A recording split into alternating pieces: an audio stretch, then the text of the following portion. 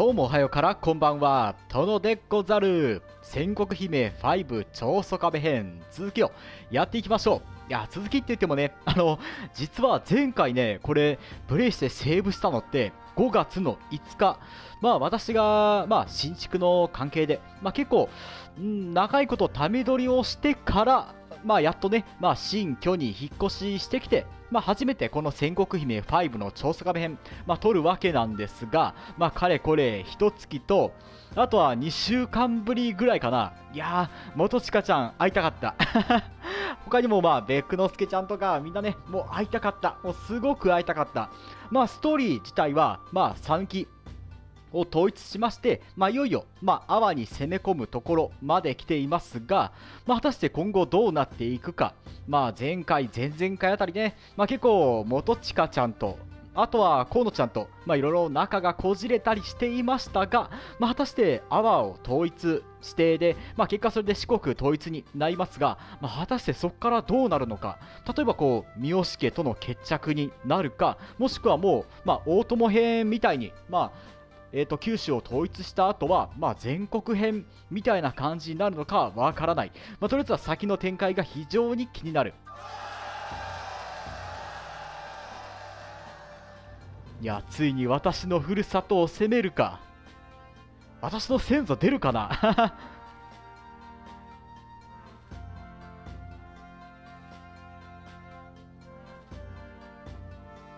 ですよね長かった。あの今回撮るまで本当長かった 一月ちょいかかってますもんね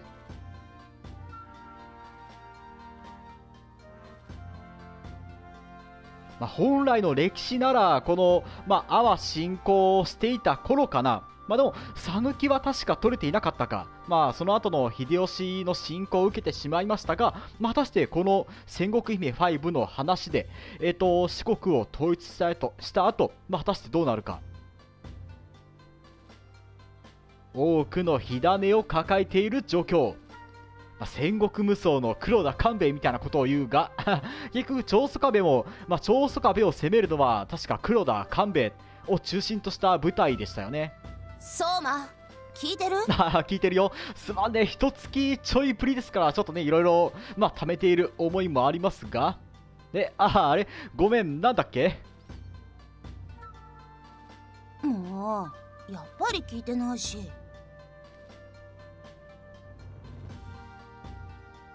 ごめんよ。もういいよ。せっかく相馬のことを褒めてたのに。あそうだったっけ？いやあの褒めてたかな？えそうなのか？すまない。続けてくれるか？できれば最初からお願いしたい。軍議の最中にぼーっとしてる人を褒めることなんかできるわけないよ。ですよね。それは次の展開を考えていたからで四国の統一そしてその先のことまで。え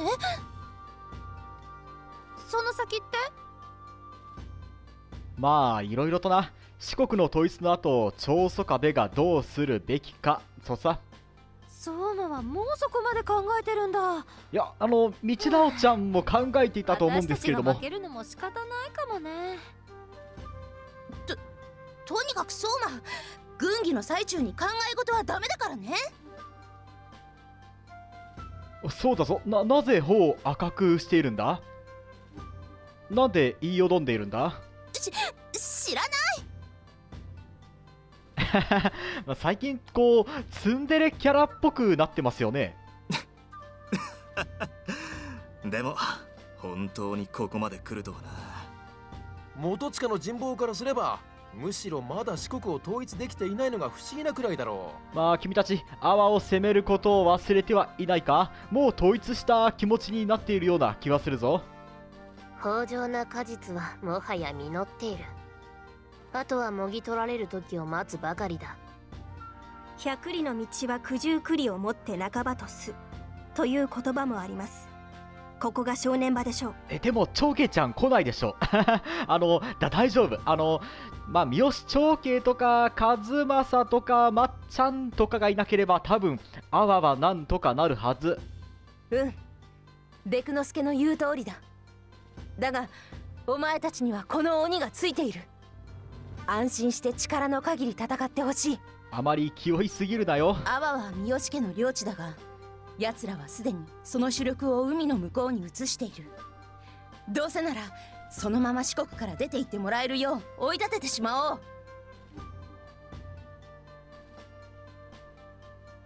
そうかな。だがアワにはこの私の先祖が いるのだぞ。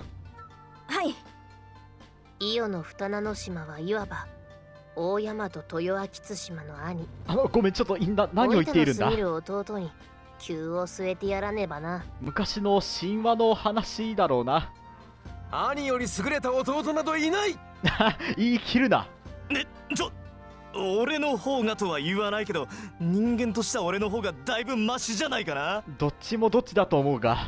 目上の言葉に反論せずにいられないのが器の小ささを表しているな。まあだんだんこう緩くなっていますよね、まあ、せっかく元親が気を引き締めようとしていたが。言葉のあやくらいで喧嘩しちゃダメですよ。それに近信は元親ちゃんにベタアマのことを除けば素晴らしい武将だと思いますよ。ですよね。あの近信が100だとすればベタ甘なところで多分マイナス99ぐらいはいっている気はするなそれを除くなんてとんでもない。ほらな。うん。近信は私に構いすぎるの。をもう少し控えてくれると私も嬉しいんだけど。そうか。ならばその分私が構ってやろうか。どうして？俺はこんなに元塚を愛しているのに。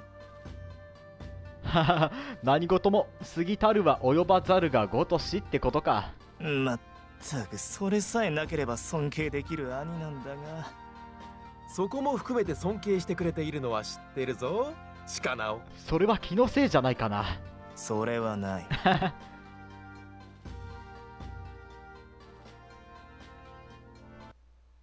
まあ三好相手にこうねあのまあ臆しているよりかは全然いいと思いますよ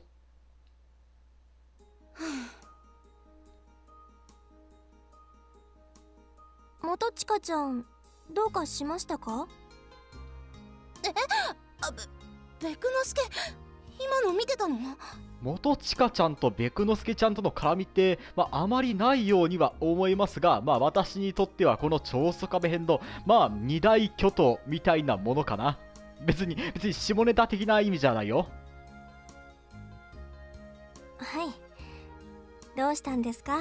ため息なんかついて失礼しますね。でその間に私が座ると、恥ずかしいところを見られちゃったね。まあ、その姿も結構恥ずかしいとは思うが。誰だって気を抜く時は必要です。恥ずかしくなんてないですよ。それだけ軍議で疲れたということですよね。あいやそうじゃ。おや幼なじみにはバレているか？まあそれを言ったらあの メインキャラ大体幼なじみか。いやいやいやいやいいんですよ言ってくれて。元親ちゃん？なんでもないよ。ううん。ベクノスケちゃん察しているかな？いやどうだろう。意外とベクノスケちゃんの脳筋なところが あるからな。最近はずっと忙しいですしね私もため息をつくことありますよ。恥ずかしいなんてことはありません。そうだよね。もう少し私がうまくできればみんなをもっと楽にできるかもしれないけれど。いやこの鬼ではなくてねこの天使2人のと会話に私もぜひとも混ざりたいものだ。そんなことはないですよ元親ちゃんはすごくうまくやっていると思います。忙しいのだってやりがいがあることばかりです。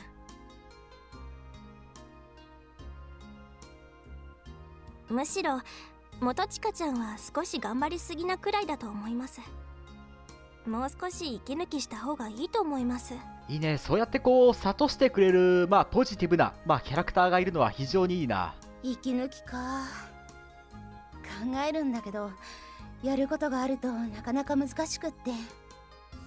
そうですよね。それならそのやることが終わった時に自分なりのご褒美を設定するだけでも違ってきたりしますよ。おベクノスケグッジョブだ。ご褒美を設定する？そのご褒美が天城層まであればどれほどいいものか、はい。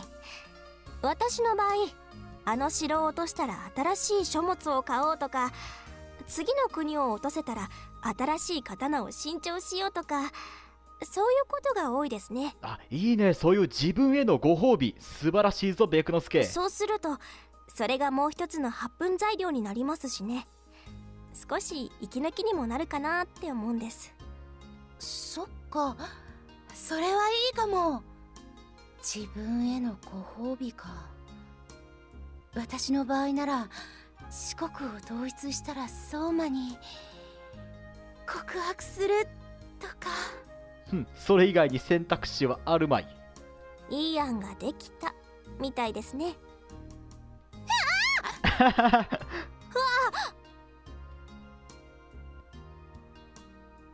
ごごめん。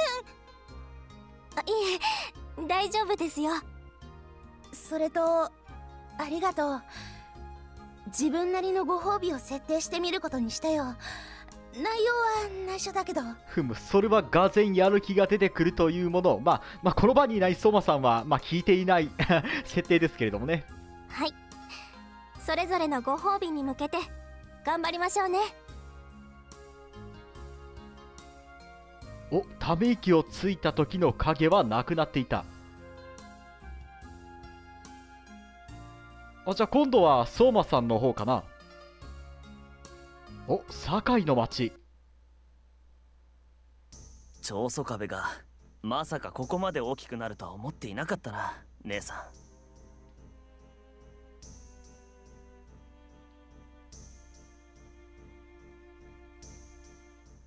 いやでも阿波に阿波には行かないって言ったんですからまあそれはきちっとね有言実行したままでいてもらわないと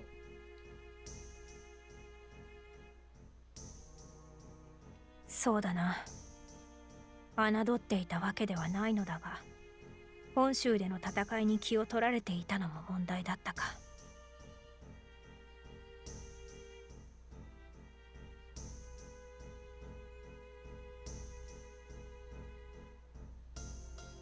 まあ、イオ、まあ、イオは河野で、で、讃岐はまだまだ、まあ、黒人衆がばらついている状態ですから、まあ、簡単に取ることはできましたが、まあ、実際、三好家の領地は、まあ、この物語では阿波だけですが、まあ、でも、どういった面々がいるんだろう。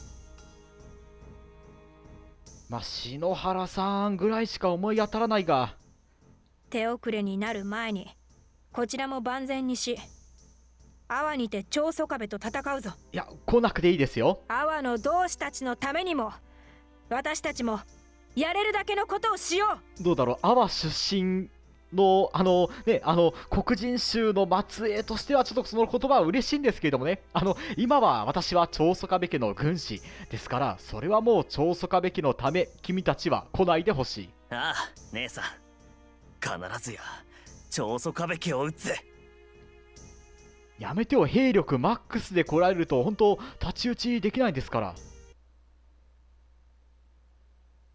お、阿波への侵攻が可能になりました。これで直接三好家と、まあ、ついに戦うわけにはなるが、一応国を調べておいた方が良さそうだ。さて、で、えー、と内政パートになりましたが、で、阿波は全部で城は5つ、まあ、この淡路島も入れ入れたら、まあ、6つになるんですけれども、まあ、一応、国境沿いっていうのかな、まあ、そこには武将は配している状態ですが、一応、徴兵はできるんだ。じゃあ、まずは讃岐。やったな大成功だまあ、兵力はこんなものだが、1500ぐらいが、今のところは一番多いかな。まあ、元親ちゃんが1600。あとは、近信や大元世妻。あとは村上道康。まあ、この辺は結構強いんですよね。こっちもこんな感じか。竹吉ちゃんとか、もうちょっと増やそうか。宇治春は結局ね、あの、初期状態の、初期状態で兵力は1000あるんですけれども、こっちがちょっと心もとないか。で、次は土佐。土佐は300人。あと200人いけるんだ。ベクノスケちゃんあたりに兵力を振ってはいきたいがこっちはどうだ？こっちはそこそこか。福留さんや大崎葛西義明、まあ、こういった面々がいますが、まあ、こっちがちょっと弱いか。でベクノスケちゃんに振っておいてで国。これで阿波を調べてみよう。おいるな。足利へ足利とかいるんだ。あ三好義方強そうだ。あとは篠原とあとは篠原長房。こっちは畑とかいるんだ。あとは細川持高。鎌谷大西。大西は多分こっちの方のここの辺の白地あたりの黒人衆ですよね。ふむどうやら私のご先祖はいない様子。まあこれならいけるか。ちょっと兵力1000あるのが、まあ、ちょっと手強そうではあるが今の調査べきならばならば問題は問題はあるまい。まあ、無野の方に攻め込んで、で、こっち、洲本からの、まあ、援軍を止める、みたいな感じで、最初は無野に進もうか。その後ね、あの、部隊を分けて、正髄とか、あとは、まあ、こっちの、伊山か伊山かな。まあ、そんな感じで進んではいこうか。まあ、一旦お金、えっ、ー、と、CP は13あるんだ。まあ、鍛錬もお金は使わないからな。レベルが上がりそうなのはキラちゃん。で、元地下はね、元地下と、あとはこういったメインキャラはずっと参加させてはいるんですけどもね、まあこの面々にしよう。まだまだこの程度では終わらないぞレベルが上がってきて、現在は5ある状態ですが、まあそれでもまあまあ強くはなっていますね。いいぞ、どんどん成長している。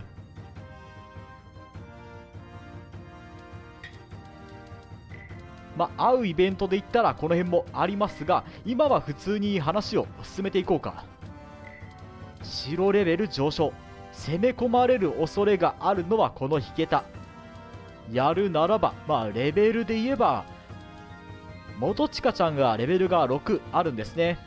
じゃあ切磋先生。ご満足いただける結果かと思います。もうちょっと伸びてくれれば満足 いくんですけれどもね。まあいいや一旦これで終了。攻め込むお金がないと意味がないですからね。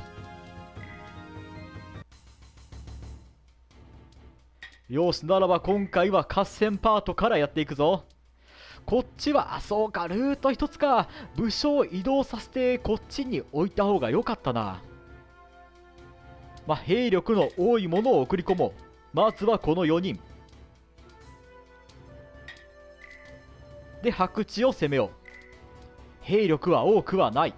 でこっちはベクノスケあとは近実6人までしか送り込めないですからね。前線に固めているようだが兵力は少ない。こっちはもう6人動かそう。吉田さんとアキさんは多分まあ使わないがこっちもね無矢を抑えたいから。でも相手は2人か。2人ならば村上だけ置いておこうか。まあでも兵力は1000ある状態。よしまあこんなものか。これでも軍資金は十分余っているんですね。これだけ動かしても100ちょいしか使わない。無野城なかなか硬そうだ。攻めている部隊が少ないからな。まあでも今は徴兵で兵力はカンストの状態なんでならば力攻め行ってみるか。攻め落とせ兵力が削れるがまあ宮城を落とせれるのは大きい。いや落としきれないな。ならば包囲だ。我らの力思い知らせよ。もうちょい武将を集めるか。ならばその間にまあ西と南からまあ阿波に乗り込ませてもらいましょうか。白地城買った。あでも海上勧告できるんだ 自軍移行移行だいぶ低いんですけれどもね。楽勝楽勝。でも海上するんだ、まあ、こんなもんだろ相手武将結構いたんですけれどもね。弱いな入れてもしょうがないな。ね、弱いのを入れたところでね、あの、虚空潰しになってしまうとね、また、あの、私たちの軍資金がなくなってしまうんですよね。篠原長房はいるよ。大西さんいいや。あ、大西さん切腹した。こっちも19か。会場勧告には応じない。みんなで力を合わせて一気に行くよじゃあ一気に強襲してみるか覚悟はできましたか？行きますよ一発では落とせんだみんなで力を合わせて一気に行くよまあ城は一つ落とした状態スキルが発動してくれればよかったんですけれどもね1つ落としてもイベントはまあ発生はしないか。